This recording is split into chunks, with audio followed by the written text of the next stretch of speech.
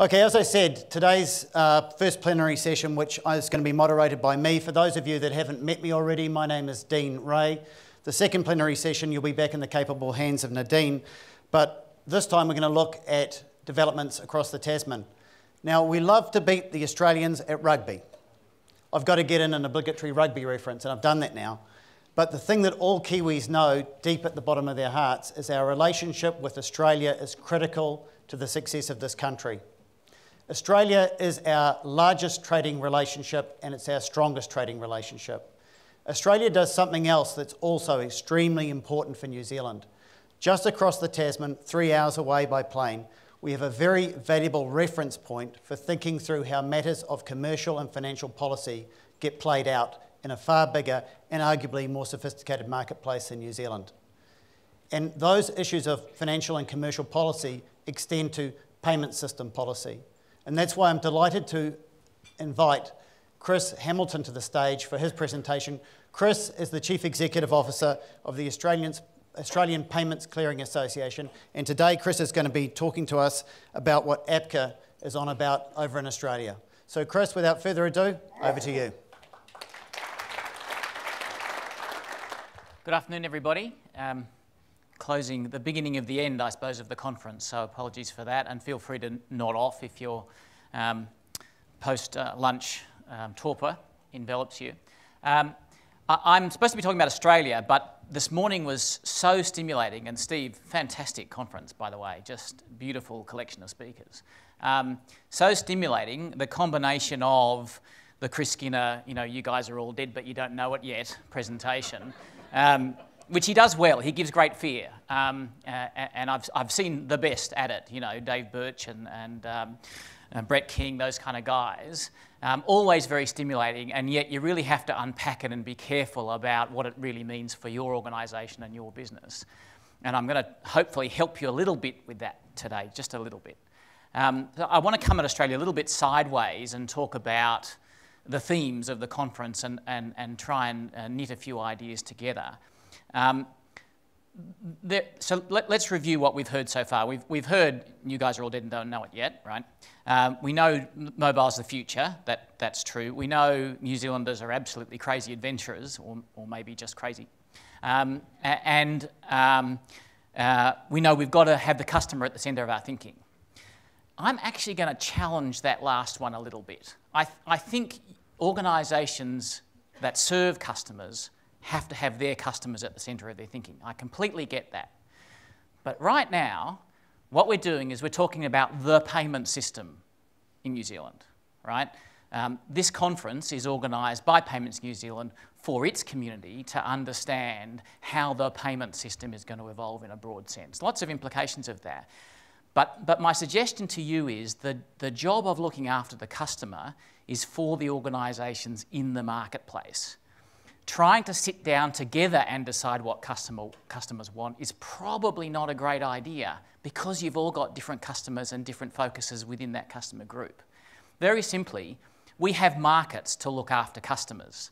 Competitive marketplaces are the best way, bar none, to look after customers. You guys are all in competitive marketplaces, you know what that's like. I'm not going to lecture to you about, about competition. When we're thinking about the payment system as a whole, we have to step away from that and let the market do its job and think about what the market needs to do that job really well. So I want you to sort of step back, but not only from, from your customers, but also from your own organisations just for the next hour or so, and think about the payment system as a whole and what that really looks like. So, a couple of really important points. I've got to find the green button now. Here we go. Um, a couple of really important. So, I've got a couple of slides that do what Chris was doing much better. So, I'm not going to waste any time with those. Um, there's a whole lot of stuff going on. You all know that it's really scary. It's very digital, and we'll have to change really fast. Okay, we've got that. We can we can now move on. Let's unpack that a little bit. Um, a couple of really important points about both Australia and New Zealand. Um, we have done the collaborative systemic bit of payments really well historically. This is a piece of McKinsey data which, which just tries to chart countries, and I'm sorry, New Zealand's not on their list. I don't know why that is. We should write to them or something, I think.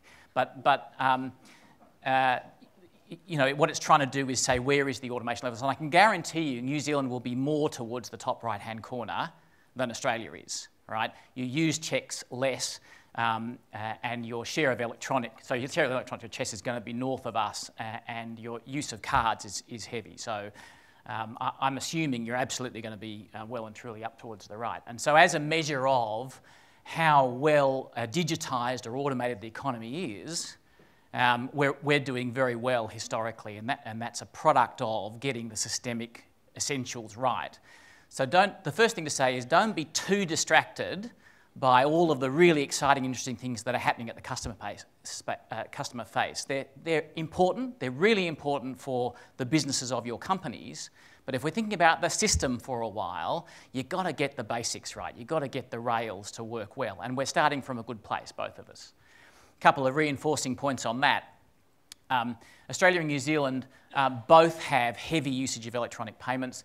This, this is um, data from um, the Findex work that the World Bank did, I think, with the, the um, Gates Foundation as well, um, where they're just trying to survey what it was that made for good payment systems. So some of that uh, digitised economy stuff that you heard um, Konstantin talking about, I think is based on this finding about getting the basics right. Um, use of electronic systems, uh, transaction accounts, Australia and New Zealand are amongst the most heavily banked populations in the world, bar none, right? So we've got 90, you know, pretty much everybody over the age of 15 has a bank account.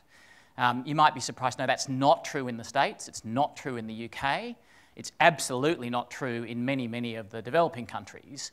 And, and why is that important? Well, it's good for banks, right? But more importantly, the bank account is the access point for the entirety of the payment system, at least in the traditional way of thinking. So when you start listening to those concerns around the digitisation and the disruption of the payments environment, you need to carefully split out two quite different types of disruption. They're both important, but they have very, very different effects. One is disruption of the traditional relationship with the customer, which is going to be a worry for your, your own company as it, as it works out how to serve its customers better that doesn't touch the basic rails of the payment system. So many, many of those disruptive elements that Chris was talking about are in that category. They may be a big concern for your particular company, they're not systemic. A couple of those, though, are really systemic, right? So, the, so the ones to, that, that worry me, because I you know, live my life worrying about the payment system as a whole, are the, are the underlying systemic ones. Bitcoin is a very interesting example of that because it essentially bypasses the underlying rails. And there are a few, but actually only a few examples of that in the digital economy, which we should have a think about. Um, again, it's not a matter of being afraid of them, it's a matter of understanding the broader implications and what that might mean in the long term. Um, okay, so the Australian bit. Uh, you might have seen this graph before. We use this quite a lot. This is, this is um, number of payments per head of population um, in different categories. and uh, it just gives you a general trend line. A couple of things to note about that for a New Zealand audience. As you might expect, um, debit cards, crazy, popular, um, going berserk. The reason why that's happening in Australia, or the biggest reason why that's happening, is actually competition.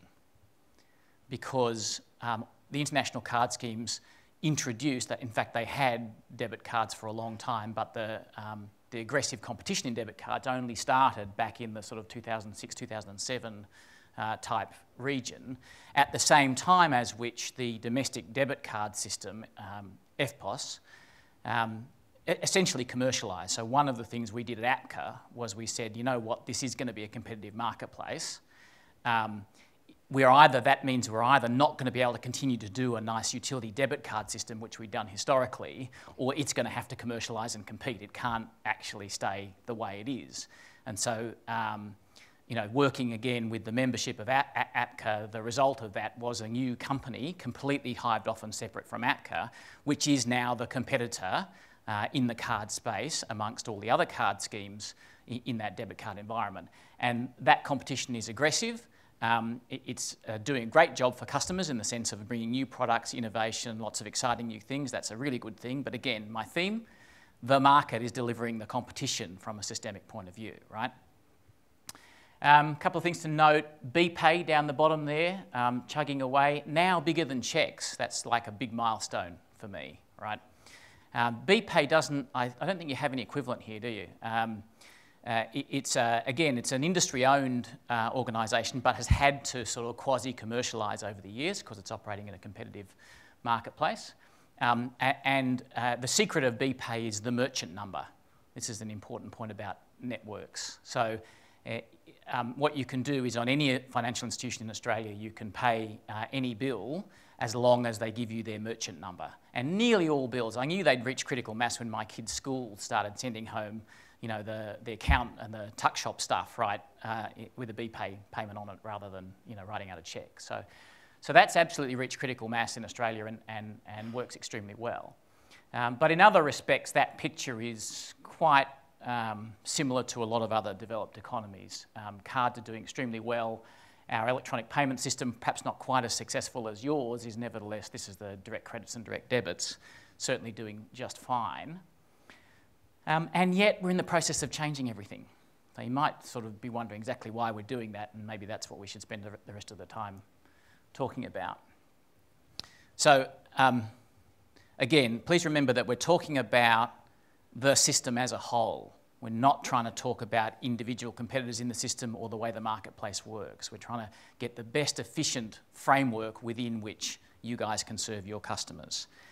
My, my proposition to you is that the most important thing about a payment system is that thing at the bottom that actually I've heard very few people talk about at this conference.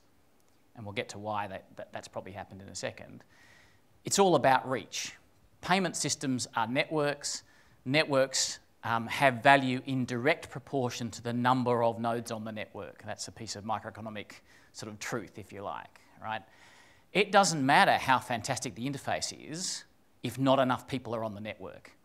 It also doesn't solve your problem if you have the most secure and, and reliable network in history if not enough people are on the network. The heart and soul of networks has to be their reach, their ubiquity.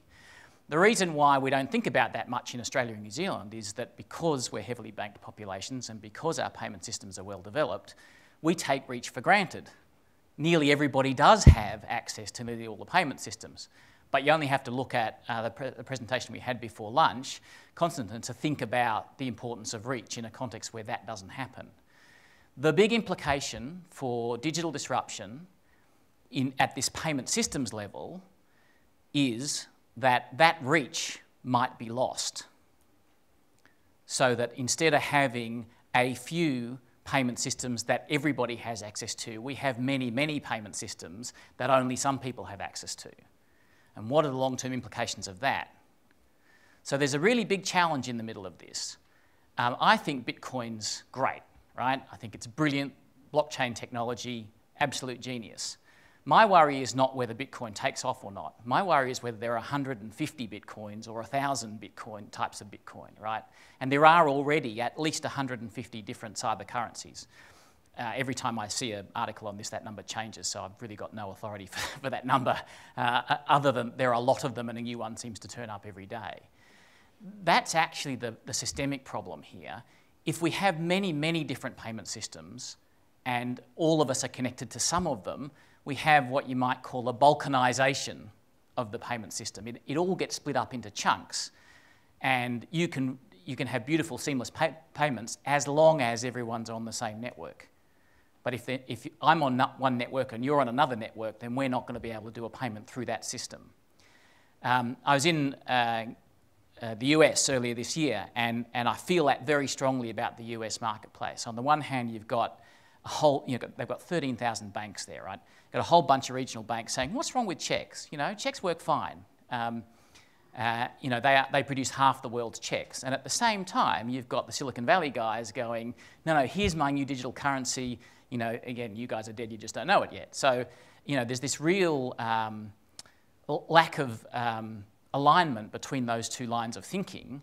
And I, I, think the big, the big problem is in the US, the, the, the basic utility payment networks are the only ones that reach everybody. So cards and checks, basically, and cash, and that's it. Um, even the, the uh, ACH system, the equivalent of our direct entry, is not something that you can reliably, as an ordinary individual, go online and, and reach every other bank account with. It doesn't work that way in the US, right? So, th so the big sort of hidden problem is this reach issue about making sure the networks are as ubiquitous as they can be. So um, we've got innovation coming at us with a fire hose. We've got this big challenge about reach and ubiquity. Um, how do we have our cake and eat it? How do we get all the innovation and competition and the good services that leads to for customers while still having the reach, having, um, making sure everybody can connect to everybody else? Because without that, we're not going to have the outcome that we really want. Um, so I'm going to talk to you now. I'm going to try and give you a one-page picture of everything that's happening in the payment system in Australia. Kind of ambitious. Um, and someone said to me just before I came on that it looks like a rugby union coach's playbook. I don't know whether that's a good thing or not, but anyway. Um, there are three key themes um, to take out of this, and so this is kind of take home message time. Um, uh, to, to, to, have your cake and eat it, to have the competition and innovation, but also the ubiquity and reach that you want, you need enhanced infrastructure. We need to rebuild our basic rails. Always hard for any one bank to talk about, but has to be done sooner or later. You need to have an effective environment for competition. So that means understanding where you want competition and sometimes actively taking steps to promote innovation and competition in a particular um, area, um, in a particular type of activity. And third, and, and uh, most important, you need some strong systemic direction. So you need somewhere, some venue, and uh, APCA's one of them, Payments New Zealand is potentially another one. Um, so in other countries, it's the government that does this. You need somewhere where you can sit down as a community and go, you know what, that's competitive, we want competition there, and this is basic rail stuff, we want that to be done in a ubiquitous, completely reliable way. So the way you have your cake and eat it is by being really clear where the competition is and where the, uh, where the collaboration is needed to deliver the basic set of rails. Let me show you what I think, what, what that kind of means in Australia. Okay, so we're starting with um, the, the key systemic entities, if you will. Now, I haven't put up here anybody who's in a competitive environment. And for me, that includes obviously all of the financial institutions and other payment providers, but also most of the payment networks that we're familiar with, because they are increasingly competing with each other. So Visa, MasterCard, Amex, uh, even BPay, all of these guys are living in competitive marketplaces. They're really important, critical for our health, but in terms of broad systemic direction, we want to focus for a moment on the stuff that's basic infrastructure here, right? Um, so I put APCA in the middle. Sorry about that. It's sort of um, kind of arrogant, I know, but it just otherwise the slide doesn't work. You'll see in a second. Um, um, but, but let's talk about the top two first. Australia unusually has a payment system board. It has a, a, body within the Reserve Bank that has specific statutory responsibility and quite a lot of power in relation to payment systems. Doesn't like using that power. It's only taken the cudgel out of the case uh, once, really, in, in all its time, uh, which was on interchange fees, and many people here would know a lot about that story. Um, but uh, the fact that it has that power, it has the ability, if it really needs to, to direct how payment systems work, means that the industry plays with it in a completely different way than in other countries. So um, that's a strong driver to collaboration and, and, and props to the Reserve Bank and the Payment System Board for using that power so really and, and instead seeking to work with and influence and coordinate with the industry. And that's generally speaking what they do, and they do it pretty well. Um, at the same time, for political reasons in Australia, um, we have a financial system inquiry, which is a you know, whole of um, government whole of economy review of what's going on. A part of that is payment systems. Um, uh, uh, Murray, the, the chair of that inquiry, is very interested in payment systems because of the technology implications, so it's digital, sexy, interesting stuff. Uh, and so we're, we're, likely to have some quite significant direction in terms of payments coming out of government policy via the FSI. As well as that, there's a cyber currencies inquiry going on right now in, in, the, in the Senate. So um, you know, there's a lot of government policy to take into account as we go along. Down the bottom are the two, um, from my perspective anyway, the two key basic bits of industry framework apart from APCA. Um, the new payments platform, you'll all have heard something about at some stage. Uh, APCA's sort of the arms and legs of it at the moment, but it will be a, a separate legal entity um, obviously with quite close relationship to APCA. It's not intended to be a new competitive payment system. It's really important to understand that it's designed to be a basic bit of rails for Australia and not to compete with other payment systems. So it'll be open to everybody. Anybody who wants to come along and, and put a new payments infrastructure, new, new payments overlay service on top of that, or, or use the, uh, the basic set of rails can do so, including existing competing payment systems. Um, and I'm going to not say any more about the new payments platform because the next half hour is devoted to that, so you'll get a bit more detail on that in a second. Australian Payments Council is a directional body. So this is a negotiated outcome between the Reserve Bank, the Payment System Board and APCA to try and get a stronger sense of strategic direction in the payment uh, system in Australia. So it's, you know, the great and the good. It's the senior people in payments uh, they've had one meeting so far, we've only just got going uh, in October, and the whole point of that is to build a, a shared sense of what we, what we really want to uh, achieve in a broad sense in Australia. And APCA, of course, is just kind of the arms and legs for all of this sort of stuff. So we're going to take direction from all of these different bodies in terms of getting stuff done in the payment system. So we're the sort of Mr. Do It bit of it. Okay, so those three themes, enhanced infrastructure, effective competition, strong systemic direction, um, I just want to give you the key points on those. And I realise I'm starting to run slightly short of time. Um, so um, if this is, gets a bit bewildering from here, apologies. You can get the slide and study it later. I'm just trying to get on one page the key themes that are important in Australia right now. Um, in, the, in the category of enhanced infrastructure, there are three things that are worth worrying about and thinking about. Um, having a new basic set of rails is probably the most important, and that's actually what the NPP is about. So watch this space, listen to the next half hour. Um, but there are two other issues that are important there. One is digital identity. And now, I don't know whether you've ever heard a bloke called Dave Birch talk about digital identity, but, but this is a really useful and interesting thing for us all to grapple with. How do we um, allow people to live their lives in a fully online digital world and still authenticate themselves to each other? And there are very big privacy issues with that. You don't want a single central Australia card or sole digital identity. That's a really bad idea. You want to know just enough about someone to be satisfied that they are who they say they are for the specific purpose that you're dealing with. So if I just want to be paid by someone, all I want to know is that they have that money and that they're entitled to give it to me. I don't want to know how old they are. I don't, don't want to know where they live, you know, uh, or anything like that. So digital identity is really important um, issue that, that basic payment infrastructure is going to have to grapple with in, in the coming years. Um, cybersecurity, equally, we've heard a lot about the hacks of um, databases, um, the security of, of, of, the environment, really important issue, which is um, now being grappled with by the Australian Payments Council. So that's my, this is the beginning of the playbook, see. Um, digital identity, uh, very much a, a, new payments platform concern. It's going to have uh, an addressing database in the middle of it.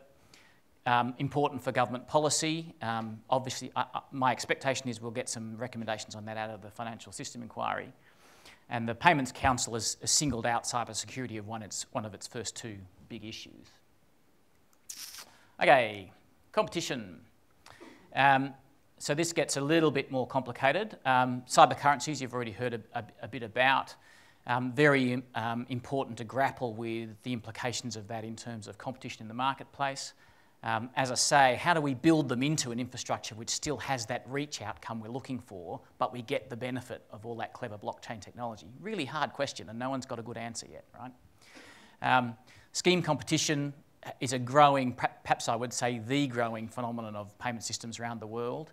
We have seen the gradual conversion of what used to be regarded as utility payment systems into competitive organisations that advertise and, and sell customers stuff and compete for your business uh, more and more. And that's uh, a trend that is going to be uh, universal in the next few years. So get used to the idea that networks can compete with each other uh, as well as individual organisations. Um, and pre and post disruption, I think you got that from Chris in, in spades. Many, many new organisations, a plethora of new people seeking to insert themselves into particular points in the value chain and, and add value or compensate for a weakness in the system uh, and, and essentially eat someone else's lunch. And that's really healthy. That's a very good thing, and we can learn a, a, lot from them. Um, you don't want that to happen in a way which compromises the, either the reach of the system or the reliability and integrity of the system. And so the, the conundrum from a systemic point of view is what are the rules that the minimum standards we set to allow those guys to innovate and do fantastic things while still not stuffing up the essentials, right? Um, government policy is very engaged in that. Um, uh, APCA's got a focus on cyber currencies at the moment, trying to understand their implications for the broader payment system. Uh, the new payments platform has a thing called overlays, and again, watch this space in the next half hour. Um, there's a couple of older issues uh, packed up in there, which are part competition, part systemic direction. The interchange fee debate. We have this over and over again. Every few years, we have a big fight about whether interchange fees should be regulated, on, and if so, how. Australia was a world leader in the interchange fee regulation stakes, a dubious honour if ever there was one. Um, so uh, that's still live. The RBA has signalled that it's going to um, have a look at interchange fees in the next little while, partly because of quite rapid change in the, in the payments market. So three-party schemes like Amex are converting to a significant degree into four-party schemes because the Amex cards are now being issued by banks and that kind of stuff. So that has all sorts of implications for interchange fee regulation. Um, regulatory perimeter is a harder concept. How do we allow people to innovate around the edges of the payment system, but step in to regulate them when we need to? So you don't want to stultify the innovation, but you actually don't want them also to have a free pass relative to the existing players. There needs to be a level of fairness there. Striking that balance is a conundrum all around uh, the world. And um, uh, in Australia, the Financial System Inquiry is very interested in the idea of how you can uh, allow light touch regulation that only steps in when it needs to in, in that space. So if you're interested in seeing, obviously time doesn't allow me, but uh, there's, there's, going to be some interesting stuff coming out of the Financial System Inquiry, which, by the way, reports at the end of this month, so it's close now. Um, okay, and strong systemic direction. So, um, the heart and soul of good systemic direction, there's two pieces. One is public policy. One is the government needs to say clearly what it thinks should happen. And the good part about Australia is we have a payment system board that is able to give a clear steer on what the government policy on payments should be. Many countries in the world don't have that, and I think in a modern economy, you kind of need the government to tell you what it wants in terms of economic outcomes and then let the industry work out how it's going to deliver it. So, government asks the questions on policy, but industry supplies the answers. Uh, that in Australia, I think, works reasonably well after a number of false starts. Um, and, and so, uh, the Payment System Board and the relationship with the, with the industry is very important there. Um, the fundamental regulatory framework is being looked at by the Financial System Inquiry. Actually, that's going to get a big tick. That's my prediction. So I, I don't think the Financial System Inquiry is going to recommend any significant changes to the basic regulatory framework uh, in Australia. Now, that's I'm out there now. That, that might well be completely wrong in, uh, by the end of this month, but we'll, we'll see what happens. um, and then the third and, and many ways the most important piece from my perspective is you need some kind of published, well consulted, well documented plan for what the payment system is going to evolve towards over the long term. Where's the, where's the area for competition and innovation? Uh, how are you going to ensure the stability, reliability, and reach? Um, Payments Council is just embarking on that. It's going to take us quite a bit of time. Um, there's going to need to be a lot of consultation, but it's really important that you have one. Um, the UK kind of led the way with this. They've, they've got their own uh, payments plan, which has a, uh, unfortunately, fairly checkered history in terms of acceptance. Uh, but I do think, uh, hard as it is, the more you can do this, the better value you get. So that's it. Let's put it all together and get the confusing diagrams. There we go. That's the Australian payment system on one page. You saw it here first. Thank you. Thank you very much, uh, Chris. Have we got any questions from the floor for Chris?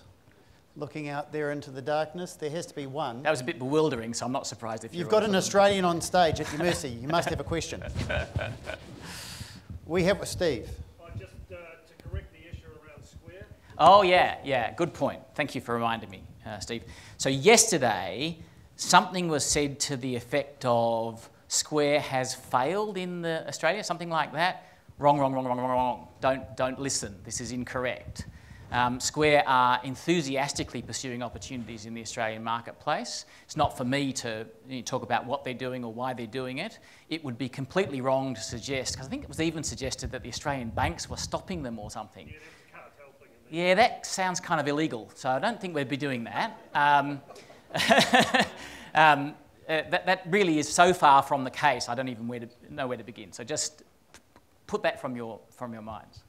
Any other questions from the floor for, for Chris? Chris, I have one for you. I Yeah, agree entirely with your description of the network effects and why reach is so important. What, in your view, explains the difference between how New Zealand and Australia are heavily banked and you, you go to the United Kingdom and there are a significant number of people who don't have bank accounts? What's, what's the underlying difference? So that, that's, a very, uh, that's a very interesting question, and I'm not sure I have a complete answer for you. I do, however, think that um, one of the things that affects the UK banking system is a cultural assumption of free banking. So, so there is an assumption over there that a bank account should be completely free. The price you pay for that is that not everybody is going to be reached out to by the banks. So if they have to give the, the, the account free to someone, they're not necessarily going to go after the guys who are obviously loss-making propositions from their perspective. So actually, conversely, freeing up that environment perhaps paradoxically, freeing up that environment, allowing competition, allowing bank accounts to be tailored so that there are limited service bank accounts that are really cheap to run, uh, and linking them to other products, you know, allowing um, banking to be not free but connected with a social network, for example. All those things are, are things which would help in terms of building up that um, ubiquity of bank accounts. Um, and just uh, lest I'm misunderstood, when I say bank account, I really should say banking account doesn't have to be a traditional bank, and increasingly it won't be. Uh, PayPal is looking more and more like a bank, and there are people who live their lives out of their PayPal accounts, and that's a good thing. You know, we, we can absolutely learn from um, thinking about this in a broader way, but you do need to have your repository of value well connected to the payment system. That's all I mean by a banking account. Great. Okay, thank you. Any other questions? If that's it, Chris, thank you. Oh, we do have one more question down in the front. Um, I wonder if you could just um, unpack your concerns around the proliferation of cyber currencies a little more. Yeah, so it, it, it's essentially a reach issue. So I, I recognise there are lots of other things people worry about with cyber currencies, you know, um, legality and, and reliability and all those sorts of things, and, and they may or may not be problems depending on the cyber currency. I've got a sort of more basic issue, which is if there was one Bitcoin and we all decided to use it, that would solve my reach problem. But that is almost, uh, it's unimaginable. It's, it's not going to happen that way. If there are 150 Bitcoins, uh, and I use Bitcoin, but you use Ripple or, or any of the other uh, examples, then that, does, that means we can't pay each other, at least not within the system that we, that we commonly have. So it's a very basic concern which says the fundamental attribute of payments, its reach, is failing at that point. Um, so it's, it's, it's, you know, so there are ways of solving that problem. I'm not suggesting that you can't have 150 digital currencies, but if you do, they're all going to have to be inter interoperable in some way if it's going to work for the economy in the long run. So that's the challenge. What are the basic rails? Okay. Chris, thank you very much for your presentation. Most Pleasure. interesting. Thanks.